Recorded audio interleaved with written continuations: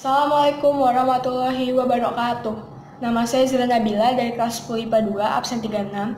Saya akan menjelaskan sifat-sifat PKWU yang ada di dalam diri saya, di dalam diri orang lain, dan orang-orang yang menginspirasi saya. Yang pertama, sifat PKWU yang ada di dalam diri saya. Pertama adalah percaya diri. Kenapa saya bilang seperti itu? Karena saya bisa menyapa orang lain terlebih dahulu dan memperluas pertemanan terlebih dahulu. Yang kedua, saya berani mengambil resiko. Kenapa saya bilang seperti itu? Karena saya sudah merantau sejak saya sekolah menengah pertama. Saya tahu resiko apa yang akan terjadi ke depannya seperti tidak memiliki teman, namun saya tetap mengambil resiko tersebut demi pendidikan saya yang lebih baik. Yang ketiga, kepemimpinan. Kenapa saya bilang seperti itu? Karena selama saya SMP, saya menjadi ketua kelas selama 3 tahun dan menjadi koor bidang selama satu tahun dan memimpin anak-anak lainnya di tim saya. Saya juga pernah menjadi pemimpin upacara. Orang-orang yang menginspirasi saya adalah orang terdekat saya. Yang pertama adalah ayah saya sendiri. Kenapa saya bilang seperti itu? Karena ia memiliki sifat kepemimpinan yang baik.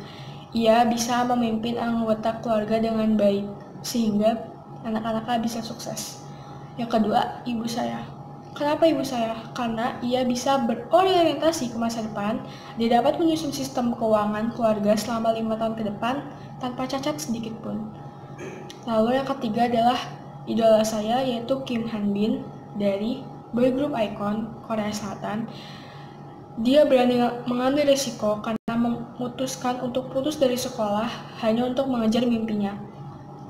Dia juga memiliki sifat kepemimpinan yang baik karena sejak dia umur 14 tahun, dia sudah bisa memimpin enam teman lainnya hingga menjadi sukses seperti sekarang.